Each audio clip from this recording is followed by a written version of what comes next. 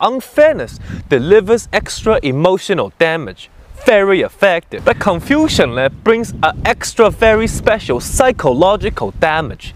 Very effective. Today we look at some psychological punishment. Very effective if your child has emotion. Reinforcing it, the disappointment very effective. The psychological damage will last likely throughout adulthood, very effective. The unfairness adds extra flavor to that emotional damage, very effective.